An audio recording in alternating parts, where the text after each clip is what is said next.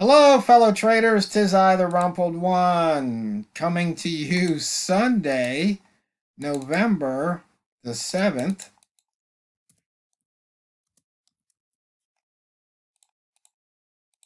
And the year's 2021. Let's talk trading. It's time for weekly open and gap. This video is for educational purposes only. Your results may differ from mine. So we take a look at the weekly chart and we can see that all the gaps have filled so far. So you weekly gap traders, hopefully you had a nice gap to fill and it paid off. And so far today, we're on, we're about five hours into the um, trading day, and it looks like um, we haven't moved that much, about 23 pips of range. And I hope that everybody's remembered to uh, do your day, daylight savings time shift unless you live in the uh, state of Arizona. You know, it's real interesting when you look at what price has done um, this year, especially these past two months. As you can see, it's cut across that um, opening range for the for the year, that first day of the year, it cut across last month and it's cut across this month. So right now we're putting in the opening uh, range for the day.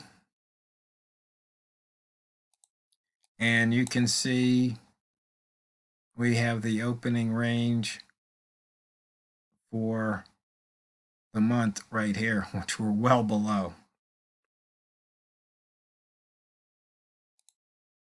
Taking a quick look here for the year, we're 162 pips below the uh, yearly open and uh, 202 below the monthly open.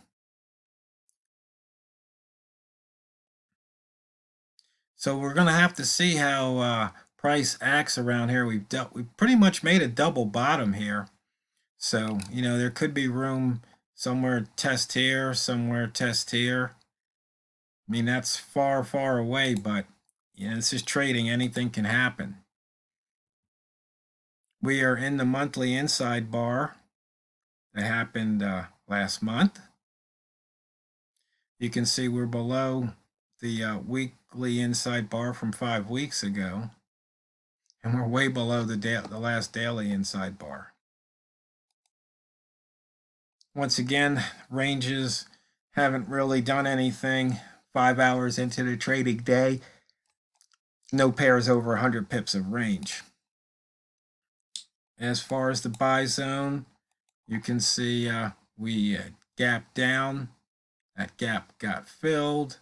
And so now we're playing the buy zone and we've already taken out the daily pivot. Looking at the rat zone, range is too low. Only 22.5 at the moment. Pivot trading plan near the pivot point is short, it says. So we'll have to see what happens. And there's the weekly pivot, 135.38. And once again, you can uh, analyze any pair like this. You can, you know, take note of certain numbers. So when price gets around there, you'll be looking for a price reaction.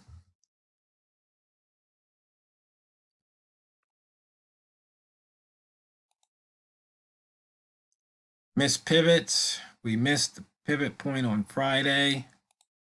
So far, the weekly pivots at 135.38. So let's see if we take out that weekly and maybe take out the weekly from last week too. And we've taken out the monthly pivot so far. We're in the lower daily wick zone here at the moment. So far, we haven't gotten out of that wick zone. And looking at the ranges here, which we analyzed on Friday.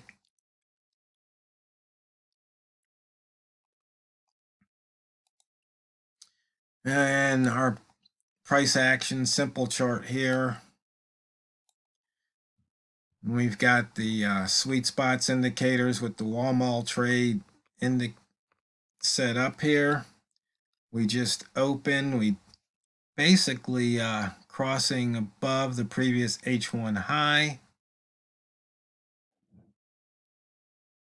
We've got a Walmart long trigger at the 90. You can see yesterday's open or Friday's open, Friday's high, today's low. Friday's low must be somewhere around there.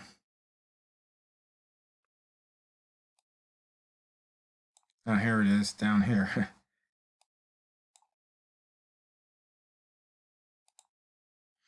and looking at the higher low, lower high trade here.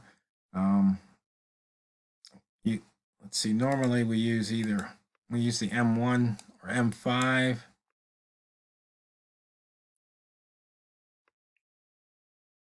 And you can see how we've just basically had a steady upward movement for about eight pips here off of that lowest M1 lowest high coming off of a three ball.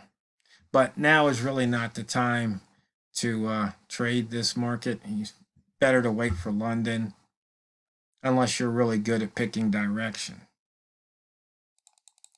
Now, I had somebody uh, ask me, they said they heard that, you know, about trading out of a bad trade and how do you do it? Well, I don't advise you get into a jam. But if you do, um, what you can do one way is is you use statistics, um, and one of the statistics are fib retraces. So if you know if you're doing intraday trading, you might be you know looking at an H1 chart here. Usually, I'll look at I like to look at the daily or the weekly because it might take time to get out of the trade. So, for example, let's say for some strange reason you're short and you're down, you know, a bunch of pips. Well, if you're what you'd want to try and do is get your average entry right here. This is the 23% fib retrace level. And if you're wondering, you can use the TRO Dynamic Fibs SR indicator. So right there, I've got it. It's the 24 level. I think it's supposed to be 23.2. I can't remember, but I just put it at 24. So, so more times than not, price will at least retrace to this level. You can see here, price pushed down. And what did it do? It retraced to the level. Okay, so when price pushed down here, this was the level, but we got a new dynamic uh, support resistance. What you might want to do to clean that up a bit, let's see, put in a three there. We can make the boxes, oh, let's leave them big, easier to see. Um, and what we want is periods 34 to match the three level ZZ. And so this is what it looks like. And so you see here, price put in this low, it came here. Got near this low, came back to here. Got near the low again, came back to that level. Pushed down to a new low. What did it do? At least gets to this level. A lot of times, some people bank on a 50% retrace, but or the uh, 38% or whatever that one is. Um, but you can see here time and time again. So that's how I would trade my way out of a jam. Do I advise it? No, because sometimes, you know, for example, if you tried it here, you were too late. You say, oh, and then all of a sudden, you know, and you put in a bunch of lots, now it took you down. It could either wipe you out or put you in drawdown, and you'd really be uh, upset with life. So, you know, but as we usually say you have your stop loss in, but there are times when you don't do that. And this is just one way of trading yourself out of the jam. Um, the other way is is to um, act like that trade doesn't exist and just start trading and make up whatever difference you can. Um, depending on your account, you maybe you can hedge, maybe you can't. If you can't, then you're really stuck. So let's say you're short the pound dollar or, or you're long the pound dollar, but it's dropping on you. Um, but since you can't hedge in that account, what you could do is you could flip over to another one of the pound pairs, like the pound New Zealand, pound JPY. So you get on the right side of the trade. Um, or the other thing is you can do something, um, for example, um, if you trade um, GPB, JPY, no, that would be a good one. Uh, let me think.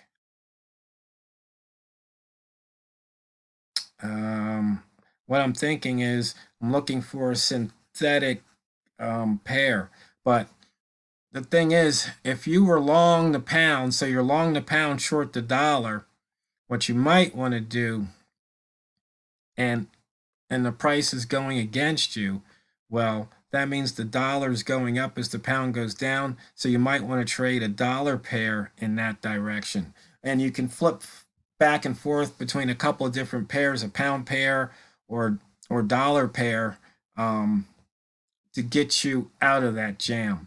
So those are all possible ways how to do it. Um, so I hope that helps. Uh, the main thing is is just don't get yourself in the jam. Try not to. And there's one other thing kind of might tie in with that. Um, and I'll maybe talk about it later this week too. Um, I, I read something again, and it really makes a lot of sense.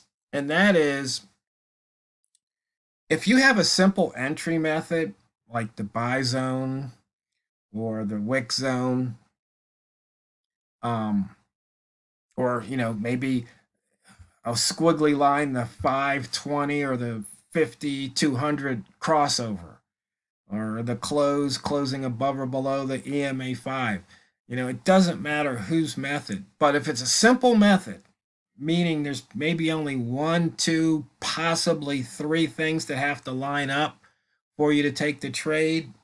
You just do that, and that will beat any analysis, second guessing, um, guessing thing that you do on the fly. Because it, it's basically a simple system, and simple systems usually work um, over and over again. Um, you know, it's like, or like the wall mall method, for example. I mean, it's very simple. Do you win every trade? No, but if, if you stick to it, you know, over time, you know, with, with money management, um, you can see that you can make a profit. Because the thing about trading is the entry is only get you into the trade. But after you're in that trade, the market's going to dictate pretty much what you do next, and meaning do you exit with a profit or do you exit with the loss? And there's no reason to fight the market because the market's going to win. It's it's just too big of a beast. So if you find yourself in a losing trade, um, then hopefully just let it hit your stop loss, and then you can you know dust yourself off and take your next signal. Because the thing about trading is if you keep looking for the system that's going to fix your problem, the system isn't your problem. It's probably either you're uh, you're not following the system. You know, there might be some emotional reason behind it, or your money management, trade management, risk management, you're not doing it. And that's usually why you wind up in those situations. So, fellow traders, that being said, just remember it's not what you trade, it's how you trade it. So, this week, I want you to go out there and drain the banks. And This is the rumpled one over and out.